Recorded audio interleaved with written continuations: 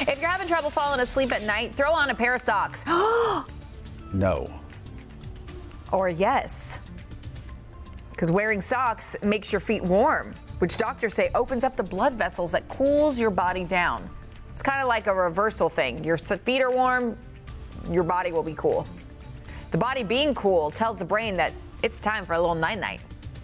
So people who wear socks tend to fall asleep faster. You know, sometimes I wonder how well we know our viewers, Yes.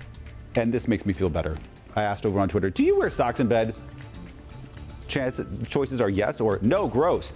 80% of our viewers say no, gross, the way it should be.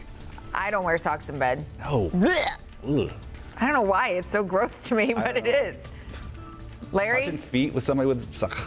I'm wearing socks right now, and I'm going to Well, fall good. asleep. in Okay. Perfect. Good to know. That's right.